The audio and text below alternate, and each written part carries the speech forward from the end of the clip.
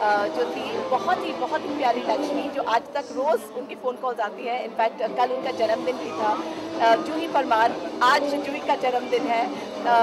Sky Rageshwari Sunny सब मेरे इतने करीब के दोस्त बन चुके हैं इस शो के दौरान स्पेशली तो ये मेरे लिए सबसे बड़ी जीत है कंट्रोवर्सीज तो होना ही है नहीं तो रियलिटी शोज़ का मज़ा ही नहीं है अगर कंट्रोवर्सीज नहीं है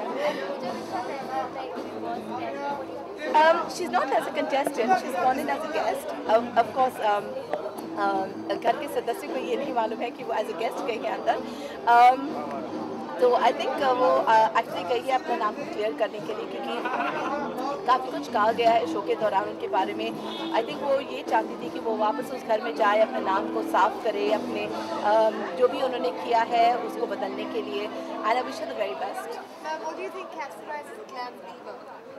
Where? What categorizes a glam diva or what is a diva? Oh, what categorizes a glam diva? Um, tell me because all of you all have these labels of diva and this and that and everything else, and you all are the ones that create these classifications.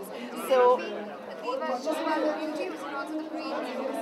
it can't be anything more than the X factor that you carry with you. You can have you can have ten women dressed in the same outfit. You can have ten women walk the same ramp. You can have ten women have the same hairstyle. But there's some X factor that separates each woman from the other.